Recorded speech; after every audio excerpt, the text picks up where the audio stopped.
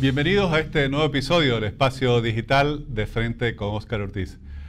Han habido elecciones presidenciales y para el Parlamento en Chile, unas elecciones que han concitado eh, mucha atención internacional por todo el periodo de conflictividad que ha vivido eh, el pueblo chileno durante los últimos años. Analizaremos los resultados de estas elecciones con José Francisco Lago, director ejecutivo del Instituto República. José Francisco es abogado de la Pontificia Universidad Católica de Chile, magíster en estudios públicos de la Universidad de los Andes y profesor en la Universidad del Desarrollo, columnista frecuente de La Tercera, El Libro, además de panelista en Radio Agricultura, La Clave y distintos programas de televisión. Muchas gracias, José Francisco, por aceptar nuestra invitación. Muchas gracias, Oscar, por haberme invitado. Gracias. Quisiéramos conocer en primer lugar cuál es tu evaluación preliminar a pocas horas de conocidos los resultados de las elecciones presidenciales. la primera sensación que uno se queda es que aquí ha habido un punto de inflexión respecto a lo que hemos visto en las elecciones anteriores. Porque, en primer lugar, eh, después del 18 de octubre, que son esta, del 2019, que son estas manifestaciones masivas que vimos en Chile, lo que da inicio a un proceso institucional que es la Convención Constitucional, parecía que eh, el, el, péndulo político estaba más cercano a la izquierda, de hecho tuvieron un muy buen resultado en el plebiscito de la Convención para dar inicio al proceso constituyente y también un muy buen resultado a la hora de elegir quiénes iban a componer esa, esa nueva institución. Pero, sin embargo, lo que pasó en la elección presidencial es que eh, de hecho, el candidato que se opuso a este proceso constituyente obtiene la primera mayoría relativa de los votos. Y en el Congreso, la centro derecha tiene un resultado histórico. Por ejemplo, en el Senado logra el 50% de los escaños. Y en la Cámara de Diputados se esperaba una debacle que no ocurrió y eh, sigue manteniendo la primera mayoría relativa y una, una coalición bastante importante. Efectivamente, son resultados sorprendentes si se toma en cuenta que la alianza, lo que podría eh, denominarse la centroderecha, eh, en las elecciones de hace pocos meses para la convención constituyente obtuvo menos de un tercio de los representantes. ¿Qué crees que explica este cambio en la votación, en la orientación de la mayor parte del electorado chileno? Lo primero es que hay, reglas que se aplicaron al proceso de la Convención Constitucional que hoy día en la elección de parlamentarios no se aplicaron.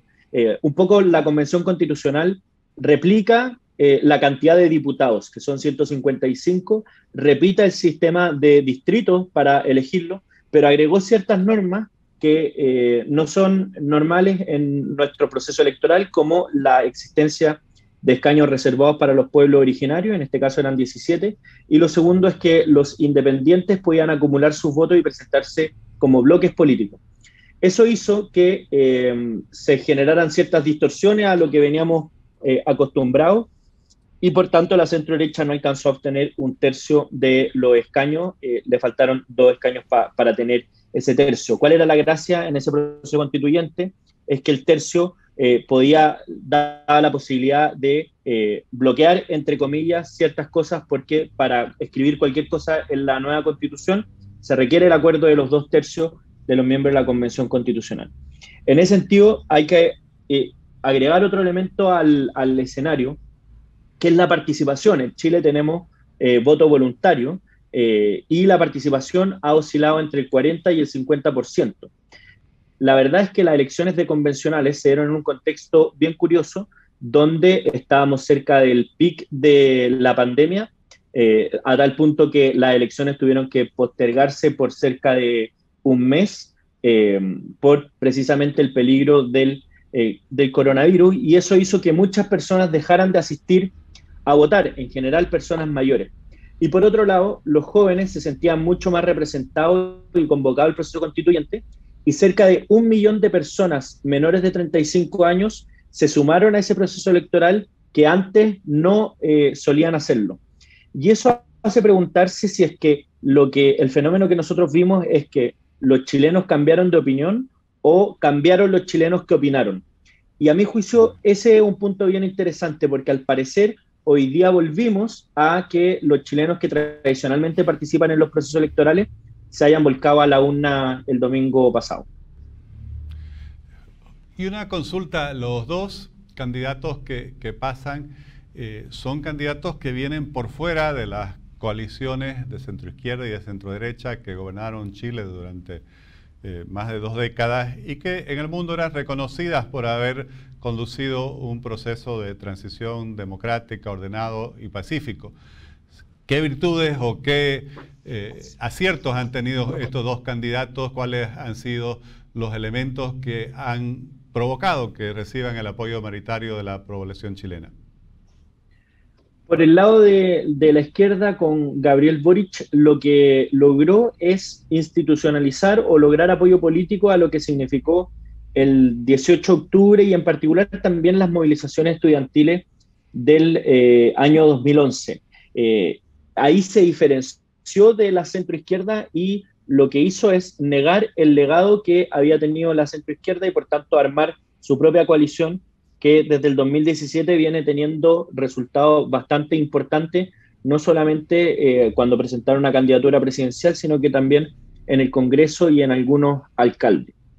Y por otro lado, eh, ah, antes con eso, Gabriel Boric en particular es una figura que, mm, que puede llegar a acuerdo y, tiene la percepción de una persona bastante, ser una persona bastante dialogante. De hecho, fue uno de los pocos de su coalición que concurrió a apoyar el acuerdo por la paz y la nueva constitución que intentó institucionalizar eh, lo que había pasado el 18 de octubre. El gran problema que tiene Gabriel Boric hoy día es que su coalición es más extrema que él. Y por tanto, si él intenta eh, acercarse al centro para sumar apoyos en, una en, la segunda vuelta, podría perder su base importante de apoyo.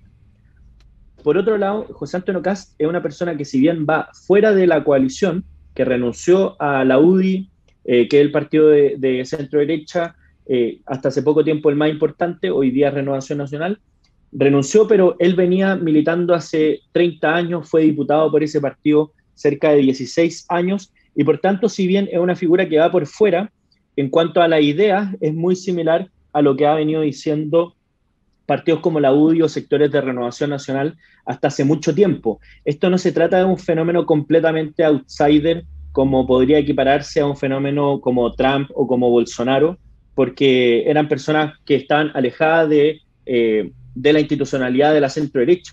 José Antonio Caz y las personas que eh, lo rodean en general habían participado de la coalición con cargos de elección popular incluso, y por tanto no es un fenómeno completamente distinto, sino que simplemente fue más convocante que el candidato de la centro-derecha, Sebastián Sicha. ¿Y qué ha pasado con estas dos alianzas de centro-izquierda y centro-derecha que fueron exitosas en representar a la inmensa mayoría del pueblo eh, chileno durante tantos años, durante tantas gestiones de gobierno, y en estas elecciones quedan en cuarto y quinto lugar? La verdad es que aquí se mezcla un poco entre apoyos de la coalición y también las figuras presidenciales en particular, porque si bien en la elección presidencial no tuvieron un buen resultado, sí han tenido un buen resultado, por ejemplo, en los gobernadores regionales, en el Congreso, eh, es decir, no son coaliciones que tengan el cuarto o quinto lugar en las elecciones, en las otras elecciones que incluso vimos, vimos ayer. Y es eso hace que, sea muy difícil aún ponerle la lápida, por ejemplo, eh, pero sí eh, prende señales de alerta a esa coalición que no han sido capaces de institucionalizar su esfuerzo en una candidatura presidencial más convocante. Eh, y ese es el pie en el que están hoy día. Ambos probablemente se van a sumar, en caso de la centro derecha, a José Antonio Caz. El caso de la centro izquierda es más curioso, porque probablemente se vayan a sumar, o una parte importante de ellos se vayan a sumar a Gabriel Boric, pero algunos miembros de esa coalición, como por ejemplo los de la democracia cristiana, ya dijeron que son, eh, serán opositores a cualquier gobierno que gane la segunda vuelta. ¿Y cómo ves la perspectiva de la segunda vuelta? ¿Qué crees que va a caracterizar la campaña de aquí hacia la primera quincena de noviembre? Creo que se hace la segunda vuelta. ¿Y cuáles van a ser los elementos que realmente van a, incidir en mayor medida en decidir eh, la mayoría que va a ganar en la próxima vuelta presidencial? A ver, lo que suele pasar en la segunda vuelta es que son escenarios binarios, es decir, o es una candidatura o es la otra. Y por tanto, a veces no solamente se destacan las virtudes del candidato que uno apoya, sino que también los defectos del candidato que uno no, quiere que salga. Eh, y eso podría generar una tensión considerando el escenario político eh, que hemos vivido los últimos años. Pero por otro lado, eh, como son, entre comillas, los lugares más de posiciones más marcados, más extremos, hay una obligación de ambas candidaturas de acercarse hacia el centro político. Y en ese sentido me parece que los esfuerzos, y de hecho ya lo hemos visto hoy día con las declaraciones que han dado, van a estar precisamente hacia acercarse a las candidaturas que salieron en, cuarto o quinto lugar para asegurar el mayor caudal de votos lo antes posible. Eh, si bien obviamente los candidatos pueden sugerir votaciones y no se adosan los apoyos, pero, pero eh, son gestos importantes lo que están esperando los candidatos presidenciales. Después de un periodo tan conflictivo, ¿cómo ves las perspectivas de esta campaña electoral? ¿Cómo es el ambiente en este momento? Eh, si bien hay unas posiciones polarizadas, se lo has recibido con tranquilidad. ¿Cuál es tu visión sobre lo que viene? los resultados se han recibido con completa tranquilidad. Lamentablemente, desde hace algún tiempo hemos venido acostumbrados a hechos de violencia, pero estos últimos días no, no se han producido. Eh, lo que habla de una tradición también que, que viene en nuestro país, de, cierta amistad cívica, donde eh, se ve al adversario como un, eh, como un adversario simplemente y no como un enemigo. Sin embargo, yo creo que el ambiente de inestabilidad, de degradación de la política de los últimos años, ha provocado que hoy día estemos en un ambiente un poco más polarizado, si bien la ciudadanía no está polarizada, pero sí la elite política, y eso hace que sea mucho más difícil encontrar lugares de, apoyo mutuo eh, y que permita sacar políticas que sean a mediano o largo plazo y no simplemente pensando en lo meramente electoral de corto plazo, que es lo que hemos visto lamentablemente durante los últimos dos años. Si bien no sabemos todavía cómo va a terminar la segunda vuelta, ya mencionabas que ha habido estas corrientes contradictorias, por así decir, entre los resultados de la elección para la convención constituyente y los resultados de la primera vuelta presidencial. Eh, un eventual gobierno del eh, candidato Cast, ¿cómo conviviría con el proceso que queda por desarrollarse de la Asamblea Constituyente? ¿Cuál es tu opinión al respecto? Sin duda se va a generar una especie de contienda política porque, por un lado, eh, eh, estaba por el rechazo a iniciar este proceso constituyente. Por otro lado, la convención em, ganó el plebiscito con un amplio apoyo, pero sus miembros fueron elegidos con una baja nivel de, apoyo. De hecho, eh, tan solo fueron a votar un 40% de los electores. Y su imagen ciudadana también se ha venido degradando en muy poco tiempo. Y solo para recordar que la Convención Constitucional en Chile no es una asamblea constituyente propiamente tal. ¿En qué sentido? En que no tienen las atribuciones para modificar la, constitución. Lo que tienen que hacer es proponer un proyecto de nueva constitución y eso tiene que ser plebiscitado con voto obligatorio. ¿Cuál es la característica de esto? Es que eh, la persona que gane en segunda vuelta, por ejemplo, José Antonio Cast, va a tener más votos que los convencionales constituyentes en un tiempo más reciente o más corto antes del plebiscito constitucional. Y por tanto ahí se está produciendo o se podría producir un conflicto bien interesante eh, en el sentido de eh, en los apoyos que concita eh, tanto el apruebo a la nueva constitución o el rechazo. Todavía no se empieza a redactar la nueva constitución, no conocemos ningún artículo, ningún proyecto articulado, recién empezaron las comisiones temáticas a trabajar, así que todo ese escenario está en veremos. Lo que sí podemos adelantar es que sin duda la convención constitucional se va a comportar de manera completamente distinta en el caso de ganar Gabriel Boric o en el caso de ganar José Antonio Castro. ¿Y cómo ves los principales desafíos para el próximo periodo de gobierno? Dado que eh, ha habido un periodo tan conflictivo en los últimos años, eh, ha causado mucha sorpresa en la comunidad internacional que, Chile, que se había caracterizado por una solidez y estabilidad institucional de su sistema democrático, de pronto haya enfrentado señales de protesta social con, un alto nivel de violencia. ¿Cómo crees que se, puede superar esta situación y reencaminar Chile, por así decir, hacia esas características de, democracia, de, convivencia pacífica, de respeto a la ley que lo habían caracterizado durante tanto tiempo? Yo creo que el, problema político se va a poder solucionar si es que eh, las candidaturas vuelven a hacerse cargo de los problemas que realmente están en las prioridades de los chilenos. Y lamentablemente en las campañas se vio un abandono de esos temas y se elitizó la discusión política. Y desde las protestas sociales hasta ahora no se han producido grandes cambios que le permitan decir a las personas que están mejor que, después del 18 de octubre. La verdad es que ha sido completamente lo contrario, entre otras cosas por la pandemia, pero también por la inestabilidad económica que se ha generado por precisamente iniciar este proceso constituyente o también por, el ambiente enrarecido de violencia. Entonces, la primera misión que tiene el próximo gobierno, sea de izquierda o derecha, es recuperar el orden público y entender que en democracia se resuelven los conflictos pacíficamente y no a través de la violencia. En ese sentido, volver a tomar temas que son importantes y que están afectando a muchas personas, como la inmigración, como la violencia en el caso de la Araucanía, como los problemas de vivienda, que aunque parezca inverosímil, han estado ajenos a los debates presidenciales. Eh, eso yo creo que va a cambiar en la segunda vuelta porque es lo que aparentemente habría motivado a un grupo importante de personas a apoyar al candidato José Antonio Cast, a tal punto que hoy día mismo Gabriel Boric se empezó a pronunciar sobre esos temas, algo que no venía haciendo durante toda su campaña.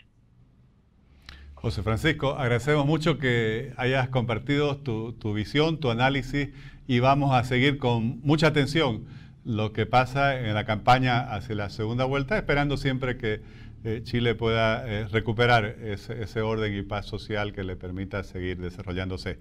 Muchísimas gracias. Muchísimas gracias, Oscar, por la invitación y saludo a todos los que nos vieron. Gracias, José Francisco.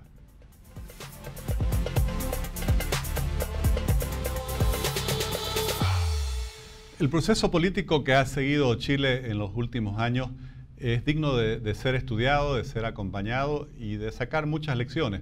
Nos muestra, por un lado, que eh, las demandas sociales eh, no se satisfacen porque la gente sigue teniendo eh, necesidades sin atender y obviamente tiene que haber un esfuerzo muy grande de las gestiones de gobiernos por dar resultados a la población. También nos muestran que incluso en los países con mayor eh, solidez y estabilidad institucional hay grupos eh, extremistas que agitan la violencia y procuran desestabilizar los sistemas democráticos. Esperemos que el pueblo chileno pueda desarrollar en paz esta campaña hacia la segunda vuelta presidencial y pueda tomar la mejor decisión para su futuro eh, político, económico y social. Les agradezco por habernos acompañado en este nuevo episodio del Espacio Digital de Frente con Oscar Ortiz.